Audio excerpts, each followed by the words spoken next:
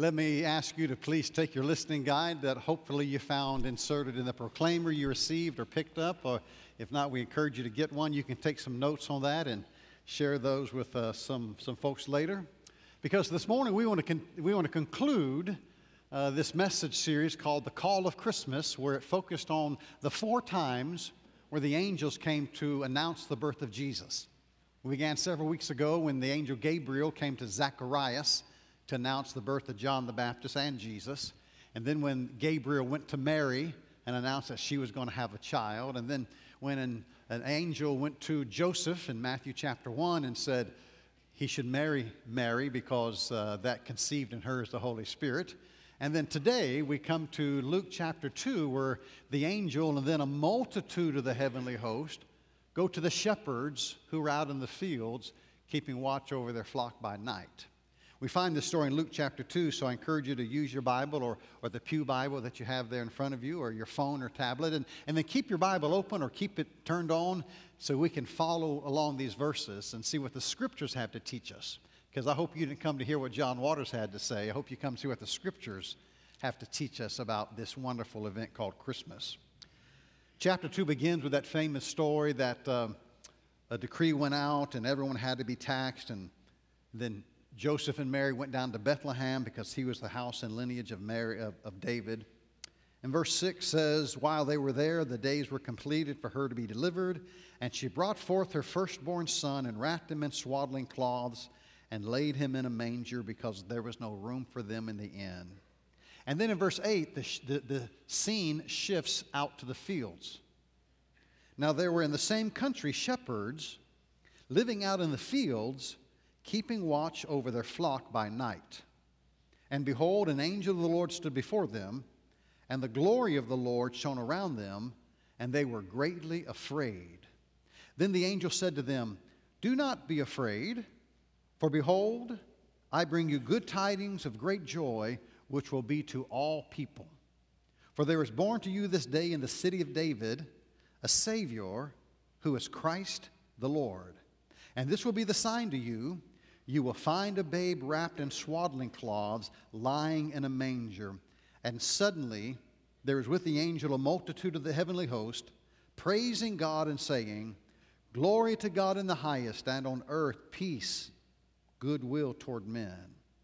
So it was when the angels had gone away from them into heaven that the shepherds said to one another, Let us now go to Bethlehem and see this thing that has come to pass, which the Lord has made known to us.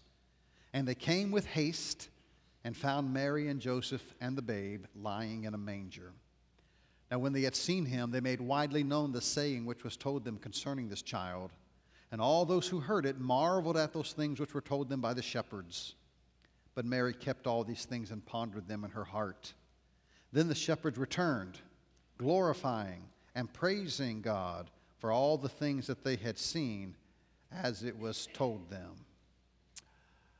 This was a life changing moment when Jesus was born and the angel announced it to the shepherds. Uh, I was wondering in preparing for uh, this passage, what were some of the other life changing, world changing events that have been witnessed by humankind? And I did a little Google search, and you, you'll be surprised, it's quite interesting when people begin to list what are the world changing events that we've seen, uh, the things that have shaped the world in which we live today. If you're a, a teacher or a college professor, that might be a great assignment. Tell your students to choose 10 world events that have shaped the world and have them write an essay on that. And all you students can thank me later when you get that assignment.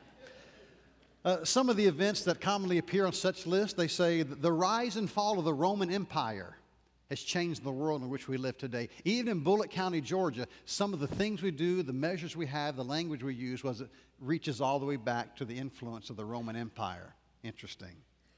Another thing that changed our world was the Protestant Reformation of the 15 and 1600s. You remember the story of Martin Luther and, and, and nailing those theses on the church uh, there in Wittenberg, Germany. Even today, this church most likely may not exist had it not been from the ripple effect of the Protestant Reformation. The Renaissance period in the 14th, 15th, and 16th century, the, the, the re engagement with learning and literature and science has indeed affected our world. The Gutenberg printing press, invented there in Mainz, Germany, There's a museum in Mainz, Germany for the Gutenberg printing press, and what a difference it made uh, in the 15 to 1600s. I believe it was 1685 when the first edition of Fake News came out. also, on this side of the country, the American Revolution. That certainly changed this world in which we live when we colonialists said, Oh, King, what's his name? We're tired of you. We want to have our own nation, or something like that. in 1917 was the Bolshevik Revolution in Russia and Lenin and communism. And indeed, uh, the Bolsheviks and the communists, and that certainly shaped the world in which we live today. World War II certainly changed this century, indeed, changed the entire world. And almost every list you pull about world changing events, it has the September 11th terrorism that indeed has shaped the way we live our life today, hasn't it? World changing events. And this list, or any list you would comprise, you'd have to say none of these events, none of these events has changed the world as much as the coming of Jesus Christ has changed it. Because the coming of Jesus at Bethlehem that we celebrate at Christmas, the coming of Jesus not only changed this world, but it also changes eternity. It changes not only this life, but it also changes the next life. It was first announced to the shepherds here in Luke chapter 2 they said, Behold, I bring you, and notice in verse 10, good tidings of great joy. That's as good as it can get. That's like chocolate on top of vanilla ice cream. Good tidings, great joy. This is a good, world changing, life changing event that a Savior is born for you today. Now, why is it so important, this announcement of Jesus? Why is this such a life changing event? it's because who Jesus is and the difference that Jesus can make.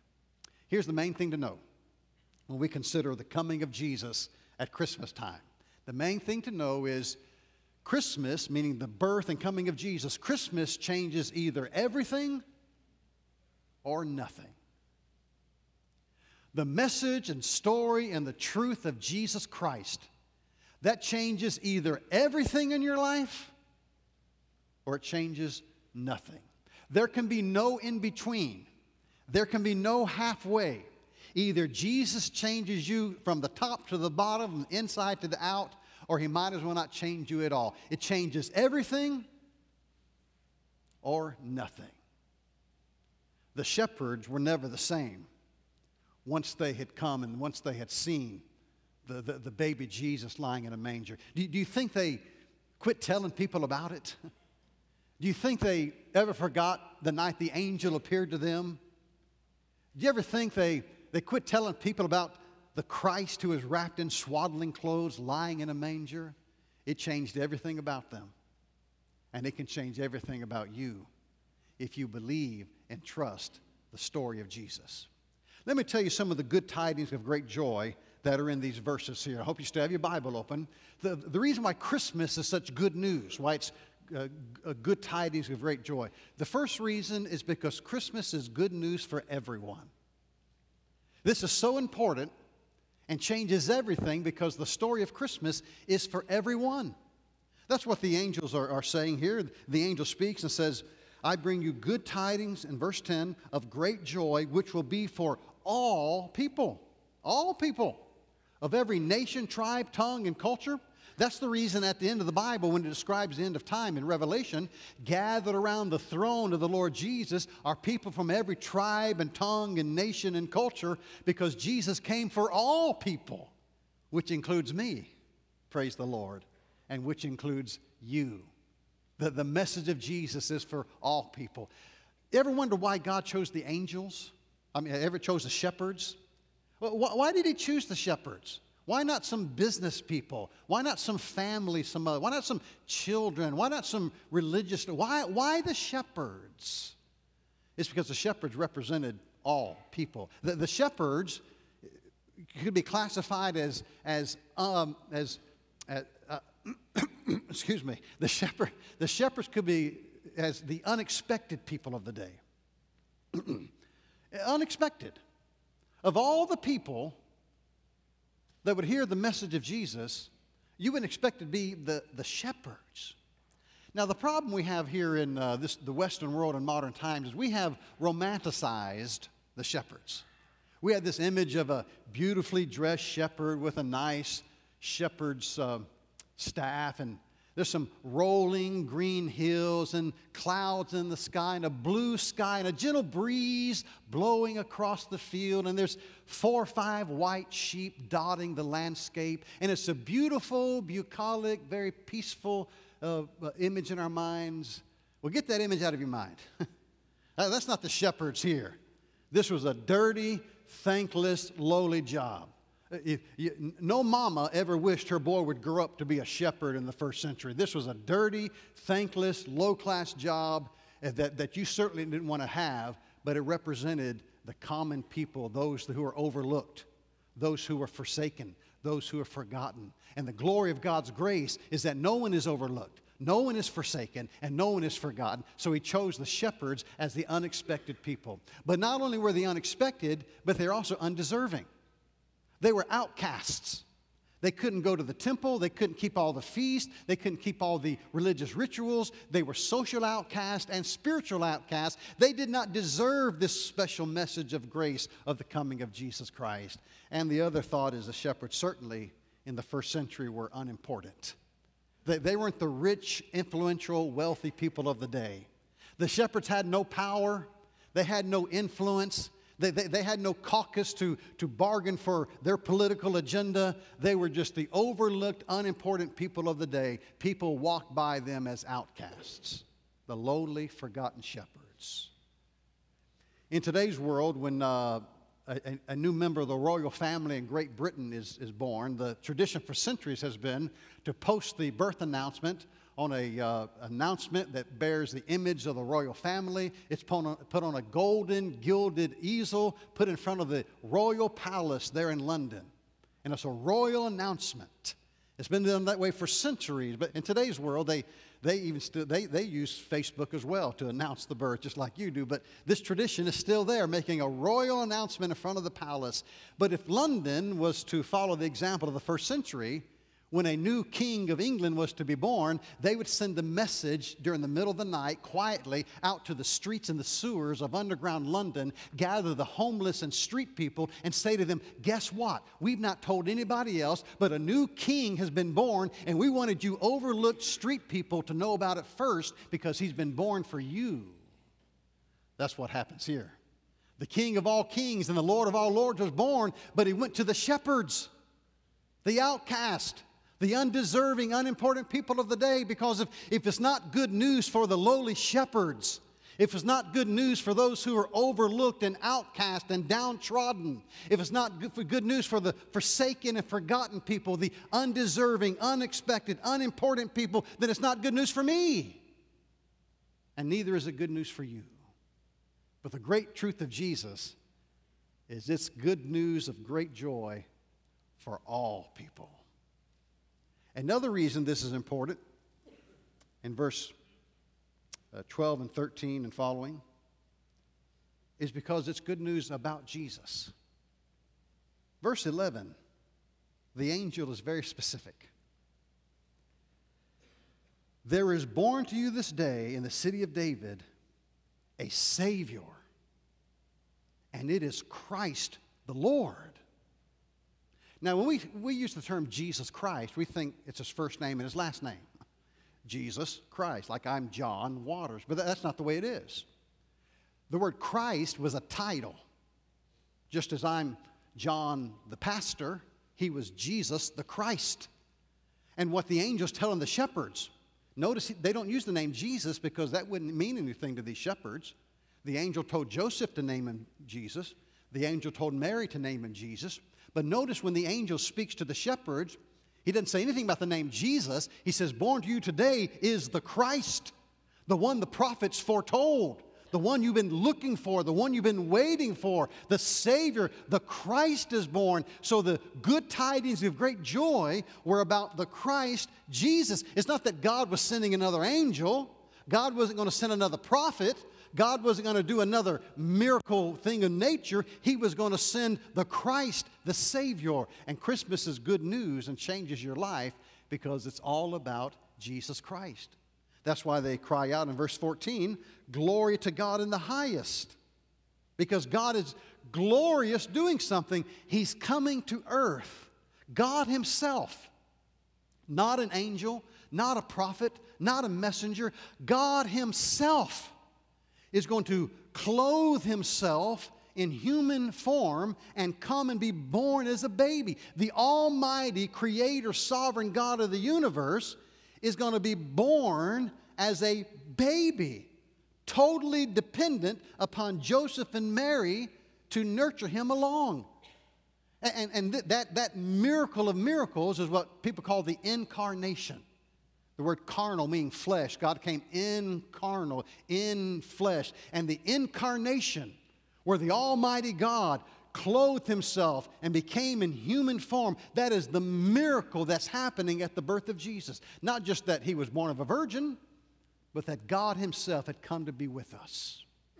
The miracle of Jesus' birth is described in John chapter 1, where it says, In the beginning was the Word, and the Word was with God, and the Word was God. And the Word became flesh, incarnated. It became flesh, and He dwelt among us. The Almighty God walked on the face of this earth in human flesh. That's the miracle of Jesus' birth. That he was fully God. When he was born in Bethlehem's manger, that was Almighty God from the tip of his head to the bottom of his toes. Almighty God. He may have only been eight pounds and four ounces, but he was the Almighty Creator God of heaven and earth. Fully God, but yet in Jesus, we also know he's fully man. 100% God, not 50 and 50, 100% God and 100% man. I know that's bad math, but it's good theology. I know it equals 200%, but really it's one person. And the, one of the foundational doctrines of historic biblical Christian faith is that Jesus is fully God and fully man.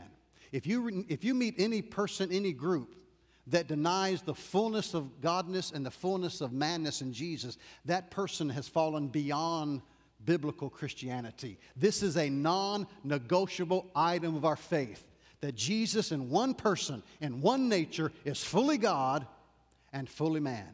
And that's so important because as a man walking the face of this earth, he was able to die on the cross and shed his blood. But because he was God, he was qualified to take your sins away. I could die for you, I could shed my blood for you, but I'm not qualified. But Jesus, the God man, is not only willing to die, but he's qualified since he's both God and man. That's the wonder of, that's the miracle of it, that God in his love and grace would come to earth.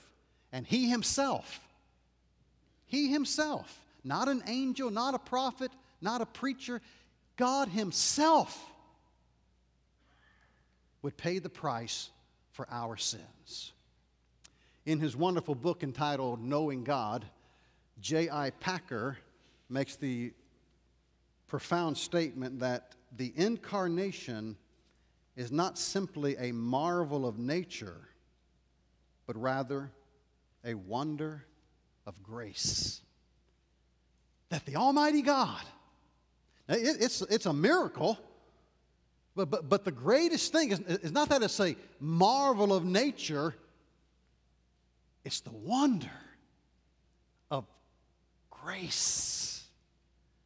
God saw us in our sin, He saw us in our lostness. In our rebellion, in our evil, and our wickedness. He saw our hopelessness. He saw our helplessness.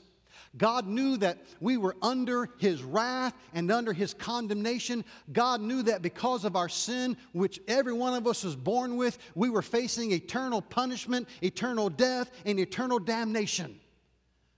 But God, who is rich in mercy, with the great love with which He loved us, clothed Himself in human form, came born of the Virgin Mary. He lived a sinless life. He was despised and he was rejected. He was mocked and he was ridiculed. They arrested him and they beat him. They scourged him. They pushed a crown of thorns on his head. They nailed his feet and his hands to the cross. They suspended him between heaven and earth, life and death, for six hours on the cross of Calvary. And he died for my sins, not his sins. He died for my guilt, not his guilt. He was paying for my transgressions, not his transgressions. So when God clothed himself in human form to live on this earth as a substitute for you and for me, that's not just a marvel of nature, that is a wonder of his amazing, matchless, marvelous grace.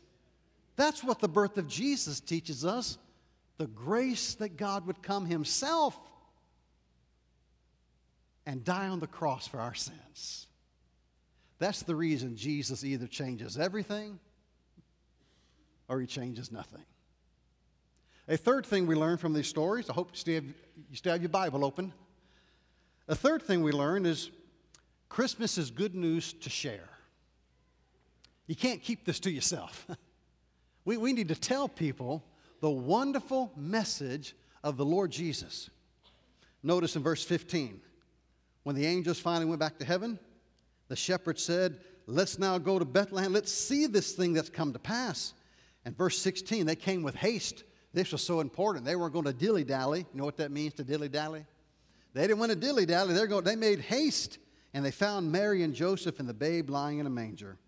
And when they had seen him, verse 17, they made widely known the saying that was told them. And all who heard it, Apparently, they kept on telling people. All who heard it were amazed. And verse 20 says, The shepherds returned and they glorified, they were praising and glorifying God, telling everybody about what they had seen and what they had heard.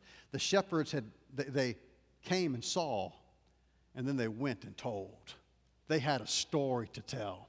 They wanted people to know that God had provided a Savior and that life and forgiveness and peace were now possible. Well, guess what?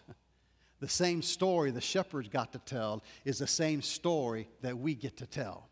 The same story we get to shout from the mountaintops, to tell in our homes, to speak to our friends and in our personal web of relationships. The story of Jesus that peace is possible, grace is available, and heaven is attainable if you'll trust and believe in the person of Jesus who died on the cross to pay the price for your sins. We have a story to tell.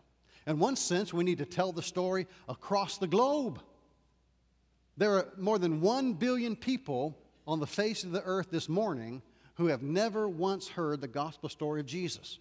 And there are places across northern Africa into Central Asia that a child could be born this morning and live 60, 70, 80 years, and unless something changes, that child will die 80 years from now and never once, never once ever hear the gospel story of Jesus. So this story needs to be told across the globe.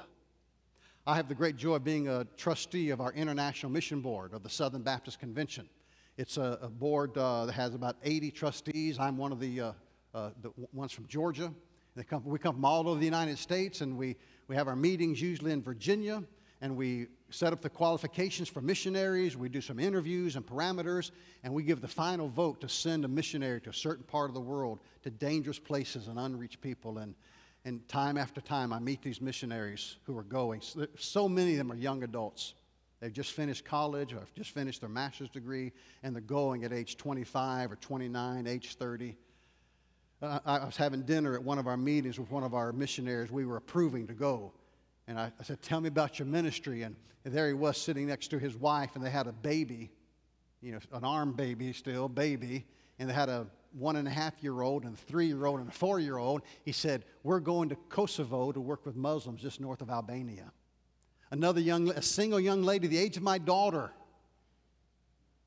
We green lighted and approved. We sent her to the Horn of Africa, which is East Somalia, just south of Yemen a young single woman about 29 years of age working in that part of the world. We're sending these young adults to dangerous places and faraway places, places you wouldn't send your children to, and places where if you had a, a connecting flight, you wouldn't even want to get off the plane. But a steady stream of these young families young children we're sending. And every one of them, every one of them is ready and excited and willing to go. And it's a humbling experience to see how they want to go across the globe. So let me encourage you to give to the Lottie Moon Christmas offering for international missions. Every dime and dollar you give to this offering goes to send and support the personnel that I, as a trustee, and we as Baptists have sent to dangerous and difficult places. This, none, none of this stays in the bureaucratic machinery or denominational uh, of, of, of bureaucracy. Every dime and dollar goes out across the globe. So give generously because you're giving for real people in real places sharing the real gospel.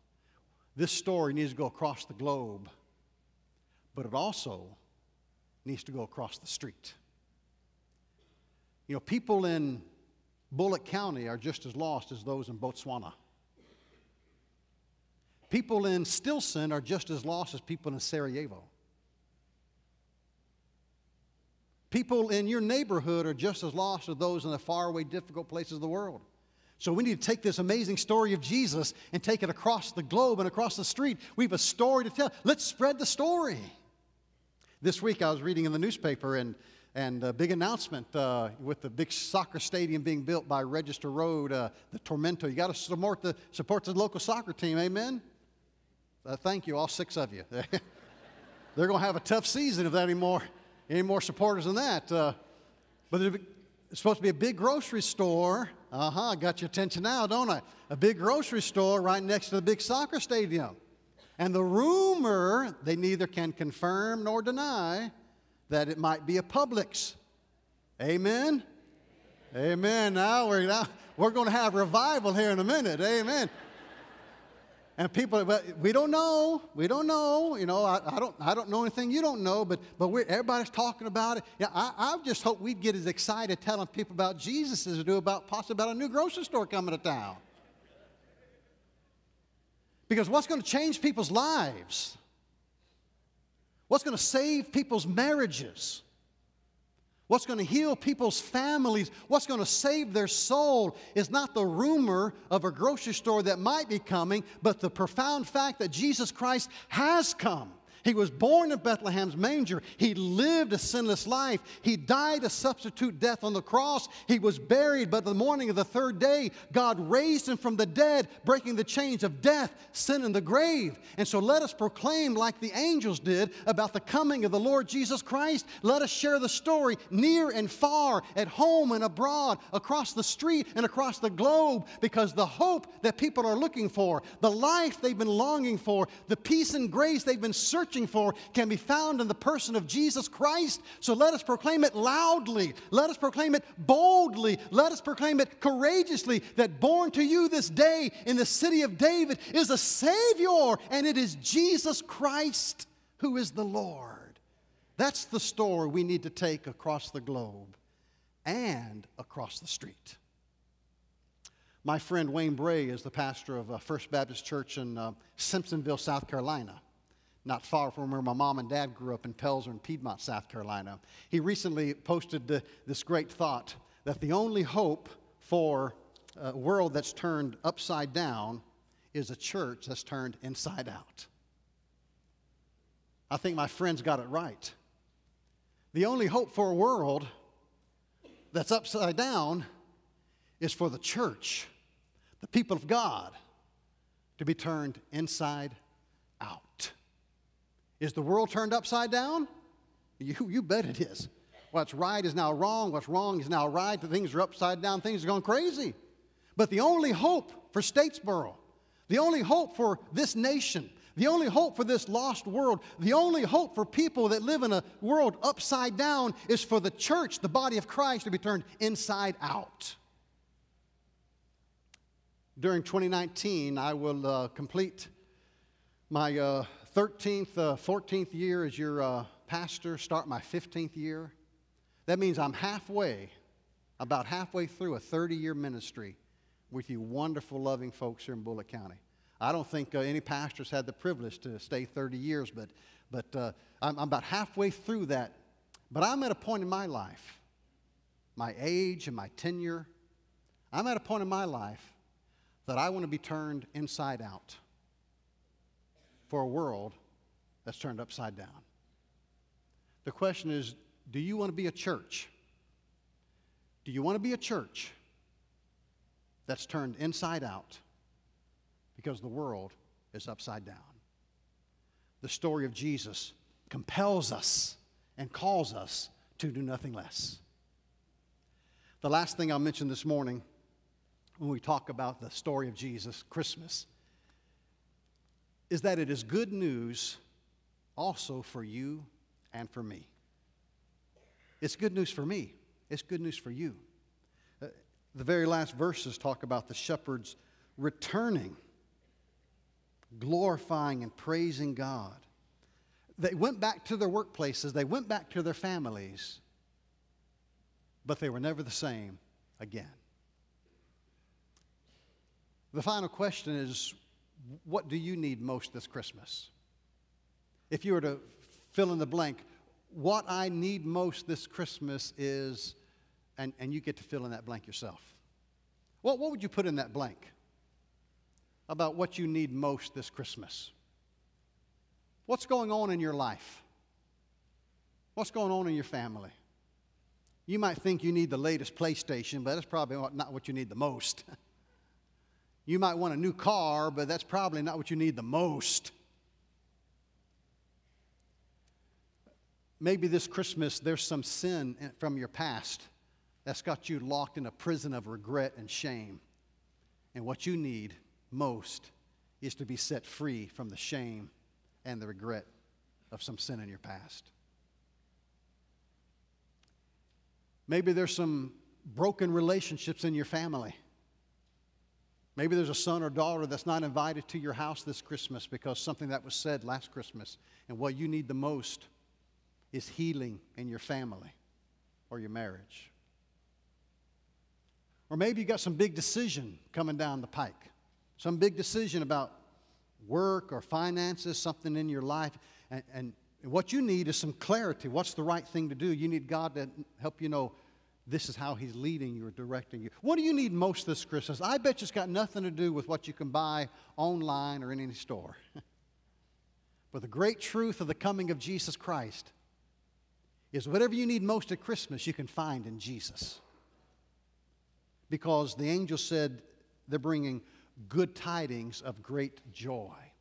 And whatever you need, you can find it in the person and in the works and the grace found in Jesus Christ.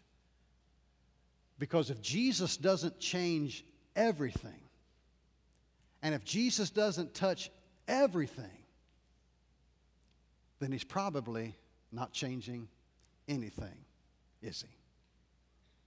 Let's pray together. Lord, I pray that whatever we need in this life, we would look for it in the terms of Jesus. In our family, in the peace we long for, in the decisions we make, in whatever season of life we find ourselves in, may we put Jesus right in the center of it. And I pray on this Sunday before Christmas, you would draw us to that point in these final moments, even now. We pray in Jesus' name. Amen. In just a moment, we're going to sing our final song, and I'm going to be standing at the front. Other ministers are going to be standing down here as well because we want to give you a chance to respond to what God has been teaching you today as we've worked through these scriptures. Is there some way you need to reclaim the wonderful message of Jesus that in Him, in Him, you can find grace and peace, salvation, the certainty of eternal life? When we sing this final song, you might want to walk forward to one of us, and that we'll be at the front, and pray with us about what God's teaching you, some, some question you have, some commitment you're making. It might be a commitment of, of changing something in your life. It might be a commitment to be baptized, like Sydney was baptized at the start of the service. It might be a commitment to something in your family. But whether you walk forward or right where you stand and sing, what is God asking you to do? What has He been teaching you this morning? And during this final song, May you be faithful to do whatever God has called you to do. Let's stand together. Let's sing as God leads you today.